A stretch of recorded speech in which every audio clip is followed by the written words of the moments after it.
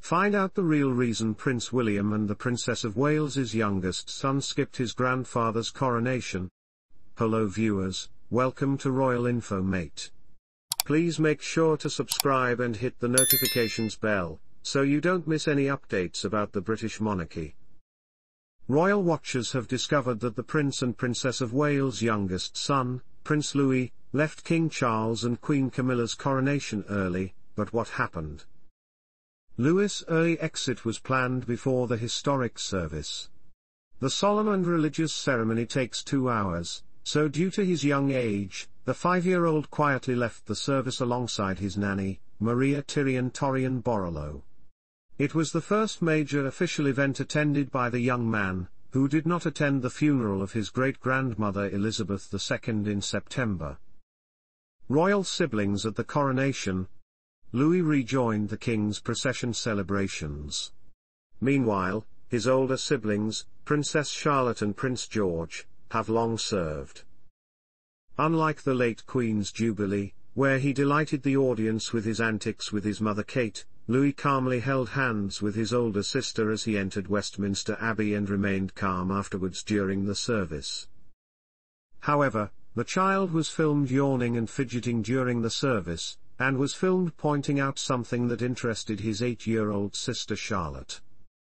The prince was dressed royally for his grandfather's special day in a Hainsworth garter blue doeskin tunic with tailored lace trim on the collar, cuffs and fronts, made by Savile Row tailors Dege and Skinner. His leg dress was black complete with garter blue stripe. The young prince left Westminster Abbey with Charlotte and his parents at the end of the service and met George, who was one of the king's pages of honor. The Wales family then returned to Buckingham Palace in a carriage as part of the grand coronation procession. Kate has previously spoken about her children's nerves on the big day. During one intimate moment with a well-wisher, she said, they're doing really well, thank you. They're, excited but obviously a little nervous about the big day coming up.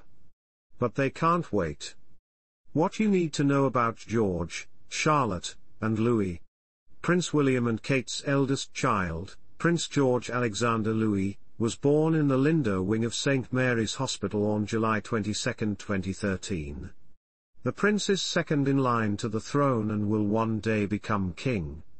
In recent years, George has made more public appearances at major royal events and has joined his parents at public events.